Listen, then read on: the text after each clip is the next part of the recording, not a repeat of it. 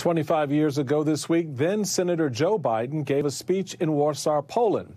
He said in part, Now it is time for the people of Western Europe to invest in the security of their continent for the next century. The president's address today in Warsaw hit remarkably similar themes.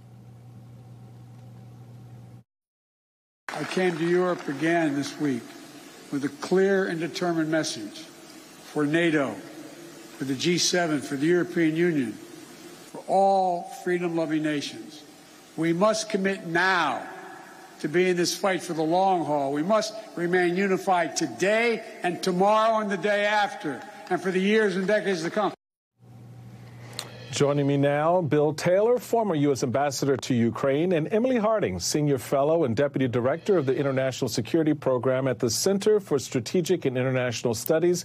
Welcome to you both. Ambassador Taylor, let's start with you um, in this. What was your reaction uh, to the president's speech today? Because you have a particularly unique view in this in this kind of moment. Thank you, Michael. Um, I was very impressed. I thought President Biden gave a powerful speech. He clearly meant it, he felt it. There was a lot of emotion there, a lot of urgency there. He made the case for the long term that we're going to be in this for a while, but he also made the case for right now. Um, he and and he addressed the Ukrainians. Um, he addressed the Europeans. Uh, he addressed the Russian people he addressed the issues of the minute and of the hour and of the next month and year. He that I thought that was a very powerful speech that he gave today. So, so Emily, what struck me uh, about the speech was 25 years ago, then Senator Biden was clear that it was Europe's responsibility to defend itself. Now he finds himself trying to walk that line between supporting Ukraine and keeping the U.S. out of the, uh, you know, an active war with Russia. What do you think of that approach, and does it work? I think in general, good things happen when America leads, and that was his message on this trip. He was trying to say that we are unified as NATO, we are unified as Europeans and friends of Europe, and most importantly, we're unified as democracies.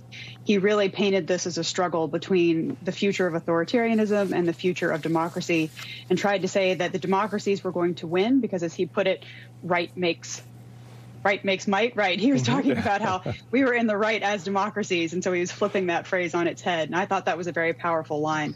In addition, the way that he spoke directly to the Polish people and used some symbology that was really important to Poland, I thought that was a quite impressive way to go about it. Bill, the, the president is putting a lot of energy uh, to Emily's point about you know pressing the point to the Polish people um, and and having that sort of uh, rebound uh, to the Ukrainian people. Do you anticipate a more active role for the United States uh, in, as this conflict moves on? So I think uh, the United States is already playing a very active role. I mean, the United States has stepped up to lead this coalition, as Emily just said. It's a broad coalition. It's not just in Europe; it's around the world. It's a, it's a coalition that has put on sanctions, um, and the requirement for sanctions to be effective is that they are put on by a range of nations around the world. So I think the United States is is leading that.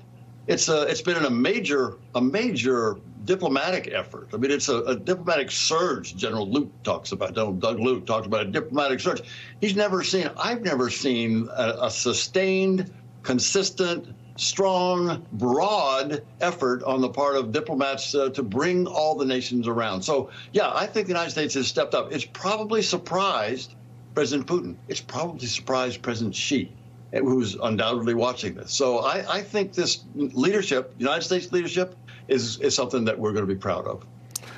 Emily, the ambassador raises an interesting point because there are some sticky parts to all of that, and it certainly is uh, no doubt sticky with the commitment of the U.S. to hosting up to 100,000 Ukrainian refugees. In addition, to billions of dollars in humanitarian uh, food aid, humanitarian and food aid.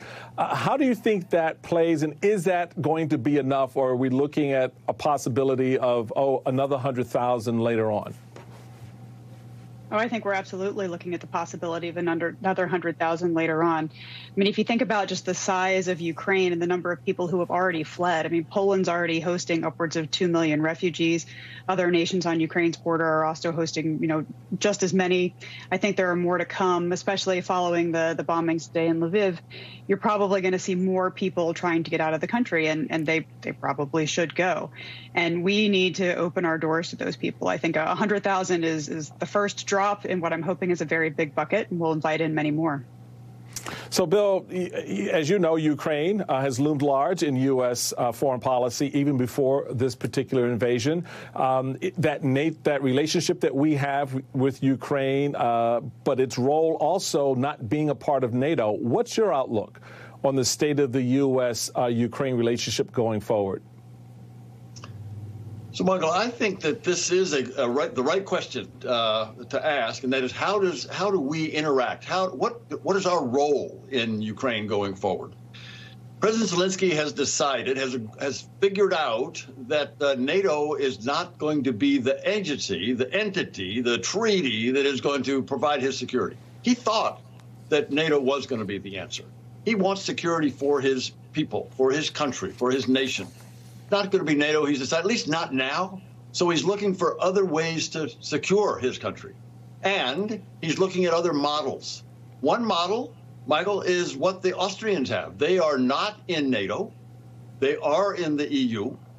They are not a member of any defensive organization, alliance, but they are, are they need, and Ukraine needs, and this gets to your question, Ukraine needs assurances, security guarantees that if they adopt a neutral status like Austria, that they won't be invaded again. And they've had some bad experience with this kind of an assurance before. It needs to be stronger than that. So the United States needs to think about how it can guarantee Ukraine's security going forward.